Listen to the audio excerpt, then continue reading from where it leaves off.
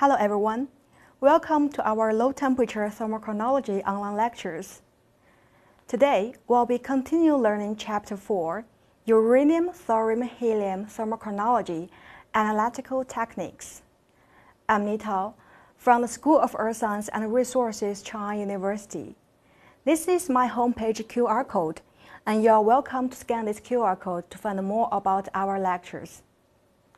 This is the outline of Chapter 4. Last time, we've been studying with Dr. Xu Lili on the crystal characterization, and today we'll be studying the third section, crystal measurement and packing.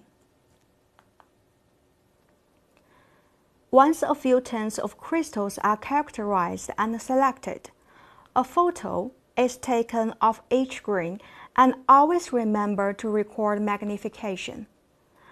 Measure physical dimensions of the grains for calculating the FT factor.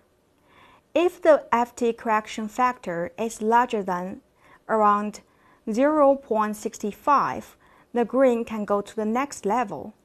Otherwise, if the FT correction factor is too small, we will have to reject the grain. Laser heating crystals encapsulated in tubes of thermally conductive refractory metal. Apatite are put in performed platinum tubes, then crypt closed. Zircons as apatite, and most labs used niobium tubes or foil packets. Be careful that apatite and zircon crystals are so tiny and are very easy to lose while being measured or packed as is shown in the photo in the bottom.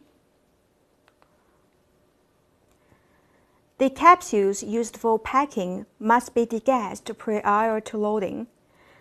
This is because, for instance, the platinum tubes contain traces of uranium and thorium, which are subjected to be leached during the crystal dissolution step.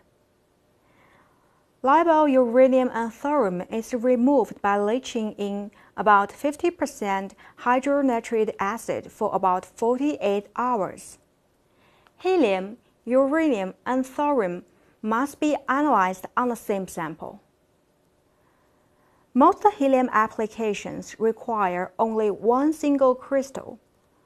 So it is conceivable that some applications such as dating of very young or low uranium and thorium samples may be better suited for multi-crystal aliquots.